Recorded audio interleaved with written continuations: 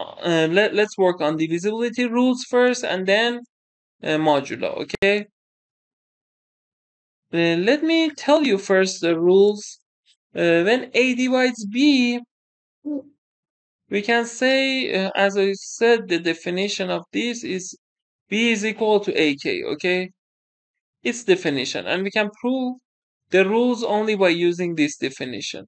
So, for example, A divides 0. 0 is multiple of all numbers, agreed? And the next one, sometimes they say, for example, A is not 0. Because 0 over 0 is undefined, right? But A is an integer, so A integer, we can say this now. Uh, second rule. Do you agree plus minus 1 are divisors of all numbers? All numbers are multiple of 1, right? Or all multiple numbers are multiple of negative 1, agreed? Yeah. Third rule, obvious rule. A is always a divisor of A, right? A is multiple of A. Agreed? Okay. So let's continue. Uh, 4. If A divides B, you can say A divides... Uh, sign is not important. We can say, for example, A divides negative B. Negative A divides B. Negative A divides negative B, right? Okay, now let me tell you fifth one. Uh, If A divides B and B is not 0, then we can say absolute value of A is less than or equal absolute value of B. Means multiples are greater than divisors, right? For example, look, when 2 divides something, 2 divides A, A is at least 2 if A is not 0, right? Okay, or for example, if negative 5 divides A and A is not 0, then we can say A is at least what? 5, right? If A, or we can say, because maybe A is also negative, for example, negative 15. Absolute value of A is at least 5, right? So when B is multiple of A, absolute value of B is greater than or equal absolute value of A if B is not 0, right? Okay, these are the rules, and you don't need to memorize them, okay? I, I will tell you because there are two, three approaches, uh, like for example, remainders. Remainders that you should consider, for example, this part equal to zero. For example, this part equal to zero. This is one approach. In divisibility, also we have two, three approaches. We will solve problems and you will get good at them, okay? Only understand these rules. Don't need to memorize. So fifth rule is this. Sixth rule. A is B. A divides B. You can multiply both sides by B, by K, right? Or for example, by C. You can multiply both sides by C. Or seventh rule. If it is this, you can multiply only this one by C. And let me prove, for example, one of them. You can prove all of them by the definition. Uh, I said that when A divides B, it is equivalent by the defini definition that B is AK, right? Okay, now I want to consider this. I want to prove this. Okay, I say A divides B. So when A divides B, we know that B is AK, right? Yeah. I want to prove that BC is AC times something. So if I multiply both sides by C, BC is ACK. So AC divides by the definition, AC divides BC, right? And for example, for this one, if you want to prove this part, you say, okay, A divides B, again, B is AK. Then you multiply both sides by C, so BC is ACK. But because we want to say A divides that, you can say, okay, you consider CK is K prime. So AK prime. BC is A times something. So A divides BC. Understood how we can prove these things? Yeah. Okay. And you can prove, for example, these things, uh, the rest as homework. They are easy. In one minute, you can prove each of them. Next one, if A divides B and A, B divides C, can you conclude, can you guess that we can conclude what? What divides what?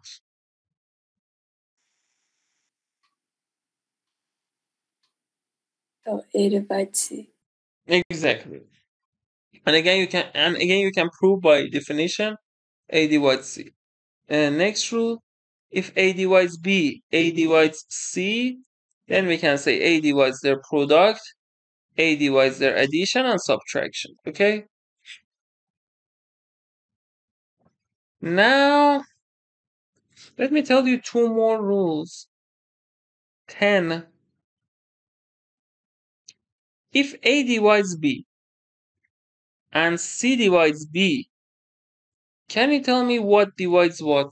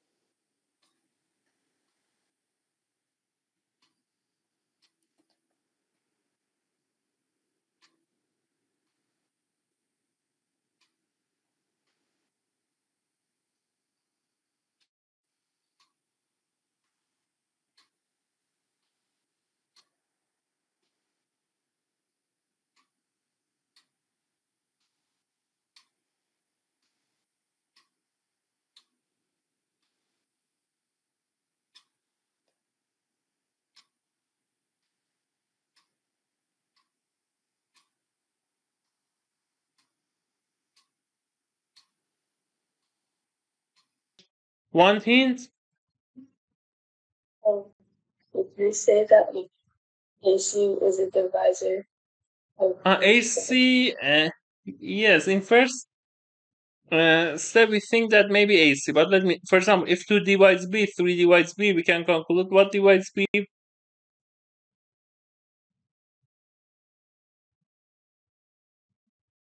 In, in, in this case, yes, you can conclude 6, right? So like B squared. No, no, no, no, not B squared, B, because B can be 6, right? Can be 6 and these things, right? B is even, B is also multiple of 3, so B is multiple of 6, what? But it doesn't like work all the time. It's not wrong. It's not wrong. You can say 6 divides b squared, but 6 divides b is stronger than that.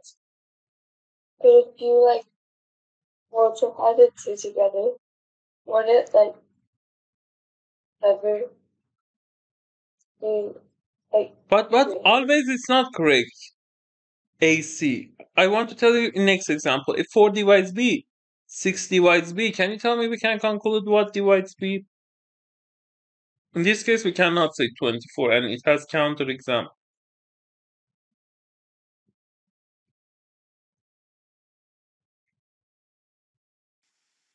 Or then could I say LCM of like The wait. Yes, yes, yes, yes. LCM. Good job. Because 4 and 6, 12. Definition of LCM is this. When a number, for example, like B, is multiple of A and multiple of C, then by definition of LCM, it is definition of LC. B divides LCM of A and C, okay? And next one, if A divides B and A divides C, then for this one we can conclude what? What divides what?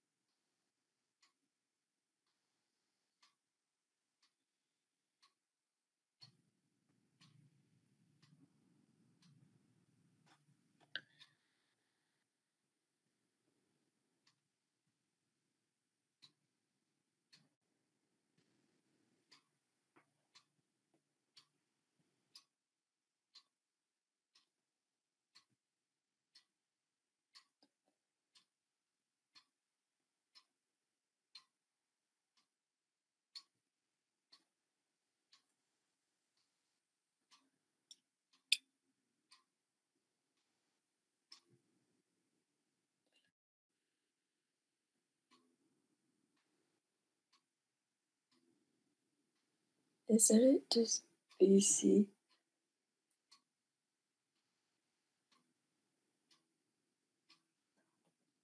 Can you say it again? Didn't we already do this before? Uh, okay, so let me tell you example. For example, suppose A divides 4, A divides 6. We can conclude A divides what?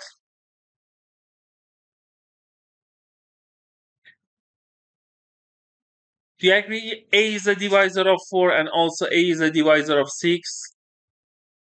Oh, So do you agree A is the common divisor, right?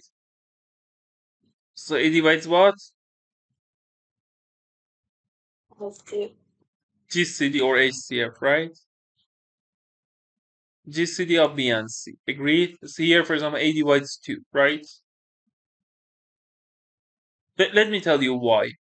Because look, when A is divisor of 4, divisors of 4 are what? Plus minus 1, plus minus 2, plus minus 4, right? For 6, it will be what? Plus minus 1, plus minus 2, plus minus 3, plus minus 6, right? So because A is a common divisor, A is 1 or 2, 1 or 2, right? So GCD is 2, so A is a divisor of 2, right? Oh, Again, this part is definition of GCD, okay? Okay, now I wanted to only mm, mention these rules. Now let's see how we should use something like this for divisibilities. So first one, problem. Suppose 3a plus 4 is multiple of a, for example, plus uh, 5. And a is integer. Then a is what? Find all possible values for a. Okay? Try this one first on your own.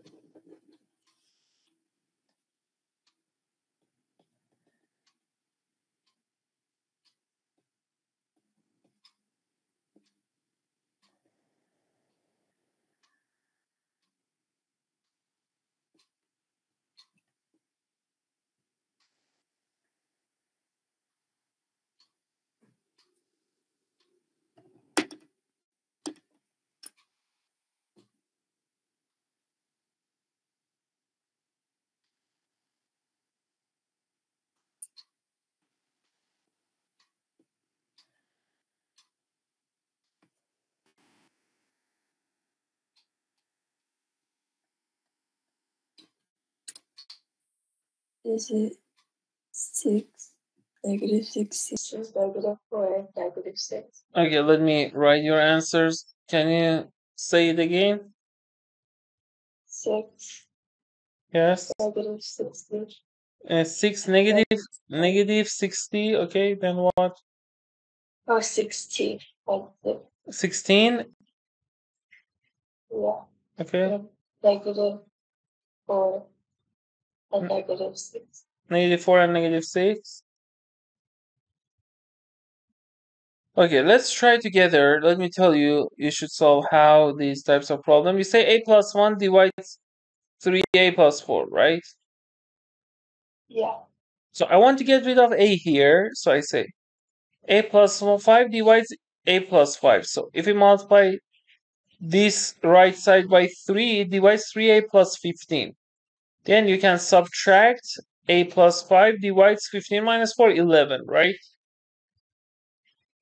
Then you can say, okay, a plus 5 is a divisor of 11. a plus 5 is plus minus 1, plus minus 11. Then we subtract 5 from both sides.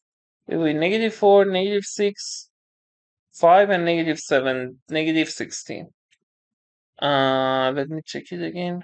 Negative 4, negative 6, 5, 11. Ah, no, sorry, sorry, sorry. 11 minus 5, 6. Okay, so your all your answers are correct. Good job. And you use this approach or different approach? Oh, the same. Uh, okay, good job. Now let's solve. Uh, uh-huh. Suppose that uh, three three a plus four and five a plus seven are multiple of b are multiples of b and a and b are integers. Then find b is what? Okay. Try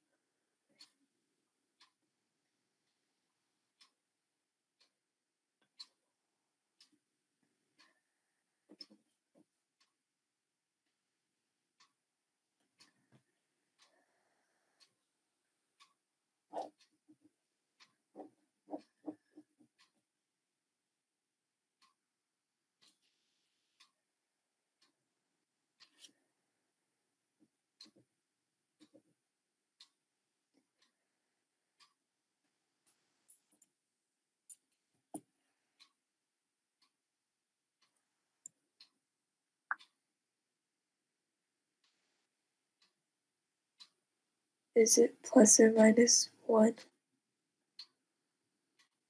Uh, plus or minus 1. Okay, let's check. Okay, so here we can say b dy is 3a plus 4 and b dy is 5a plus 7, right? So I should get rid of a. I should multiply first one by what, second one by what? And then subtract.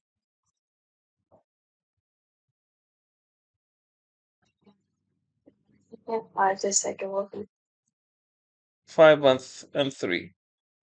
So we can say b dy is 15a plus 20 and b dy is 15a plus 21.